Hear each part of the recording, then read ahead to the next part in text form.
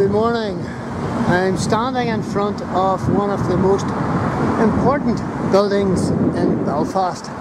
This is the entrance to the avenue leading up to Clifton House. This was the Belfast Poor House. And just beside it uh, is this uh, notice board. Clifton House, uh, built 1774 on land given by uh, Chichester, Arthur Chichester, and uh, money uh, donated from the dignitaries in Belfast.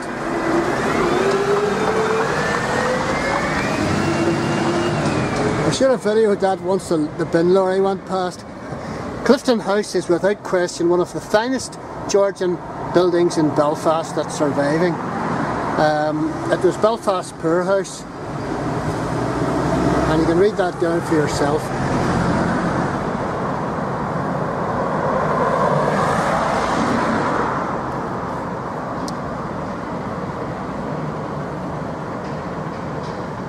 Earl of Donegall contributed 8 acres. Foundation stone laid 1771 and the charitable institution opened three years later in 1774 and the people received a balanced meal, bread, cheese, milk, broth, peas porridge, meat served every Sunday, a rare treat in those days. And they uh, opened a graveyard and I have videoed that at the Clifton Street. There you go. Clifton House. Let's uh, take a wee Jeff Duke. I think it's a heritage centre now, but the boys are working out the front, so uh, can't get in that way. And at one time, um, there was 36 uh, people living in here, and there was 24 beds in the infirmary. people like uh, William Drennan and all the rest used to drop by. I think he was a surgeon or doctor or something. And it took £3,000 to build this back in the 1770s.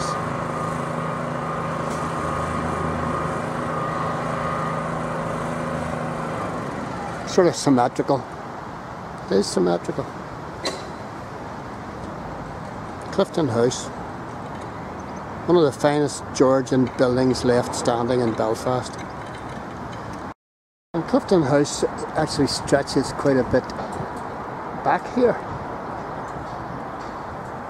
You wouldn't just quite imagine this from the front. And there's so much history in here. Here is uh, was a representation of Mary Ann McCracken and she was a, a, strong and influential woman involved in the in the poor house here at Clifton Street. And of course, these these uh, folks were uh, United Irishmen as well. And here's a representation of Dr. William Drennan.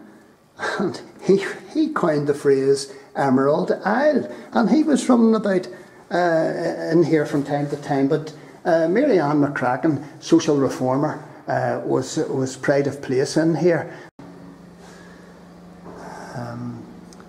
Mary Ann McCracken, 1770 1866, donated by the artist Elizabeth O'Kane with kind permission of the Belfast City Hall, who commissioned the bust in bronze in 2004. And the bronze bust can be seen in the City Hall apparently. And there's a wee bit of information about Mary Ann McCracken and her massive, massive contribution to the well-being of the destitute and the poor Belfast. She was like the Mother Teresa of her day. Yes. These are old water pipes. Originally, water was distributed throughout Belfast using, using wooden water pipes like these. They were made from elm and came from London. The elm was hollowed into a pipe by a professional borer in the employment of the society. Eventually, wood was sourced locally from Tandragee For some 45 years, the Society was entirely responsible for bringing water supply to Belfast, and these are, these are examples of the old wooden pipes. Isn't this, isn't this amazing?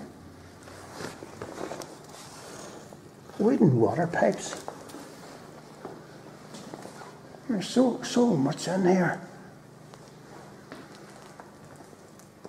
All about the Belfast Poorhouse.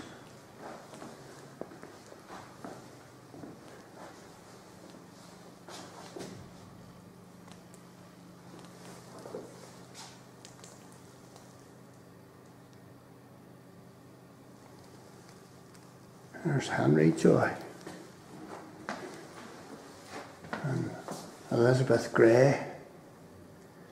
Typical of the mentally ill people who were admitted to the poorhouse because there was nowhere else for them to go.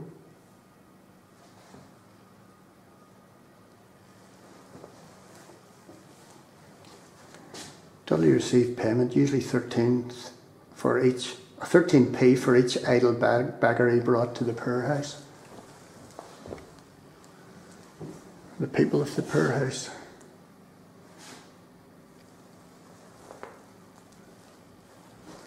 Mary West, an abandoned child. And the poorhouse did great work in,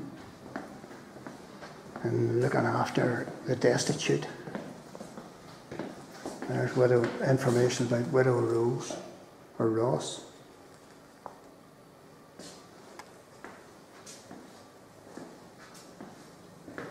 And here's here's Thomas McCabe, a prominent Protestant businessman, and he was also a United Irishman with a goldsmith and watchmaking business in North Street, was founder member of the United Irishmen. Society regularly met in his house, the vicar the the vicinage now St Malachy's College beside the poorhouse, Thomas McCabe.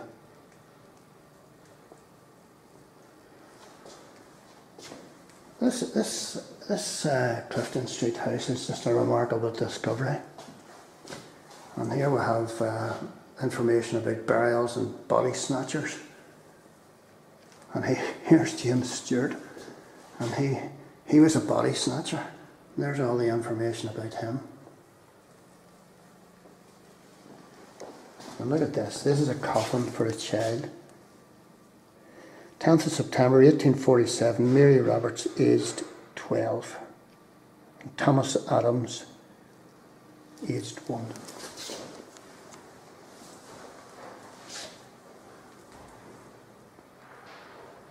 And this is Valentine Jones.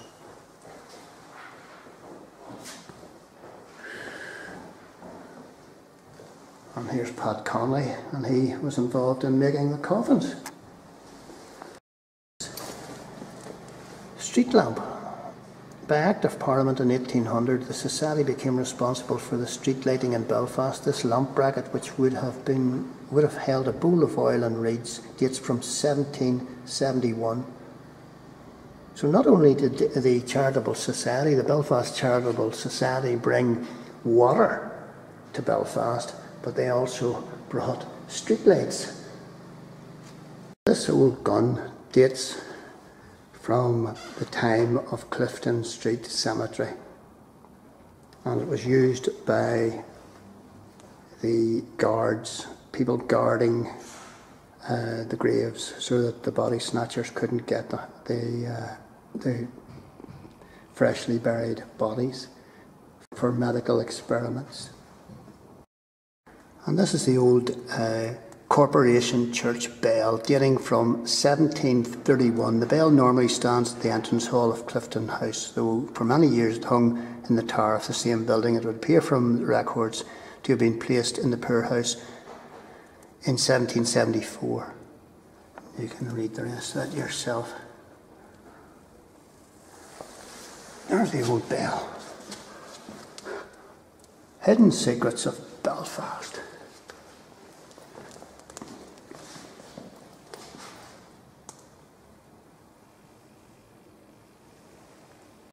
And apparently uh, there are organised tours, and I think there's a, a, can you can uh, join one of these tours for uh, the price of about five or six pounds. And there's tours, uh, guided tours round uh, Clifton House here, and well worth coming along they are too. So come and check the place out for yourselves. This Belfast Charitable was basically uh, the forerunner of our modern day hospital system and the NHS. And this is one of the foundation foundation stones for our present day NHS. Without this, our hospital system might not have evolved into what it is today. So good on them. Even 1774, up on the top of the spire there, it's not good.